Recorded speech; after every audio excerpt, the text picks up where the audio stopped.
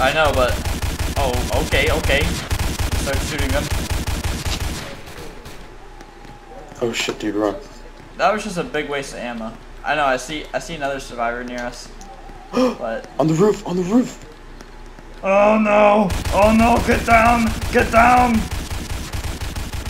I'm gonna try to sneak up behind them. This is not gonna work.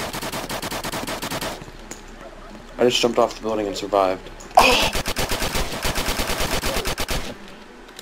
him? Yes, I killed both Nice. of them. Holy shit! That I jumped off, used a blood bag, and I thought I lived, and then shot me. Um, I don't really care if I lose my stuff. I want to spawn now.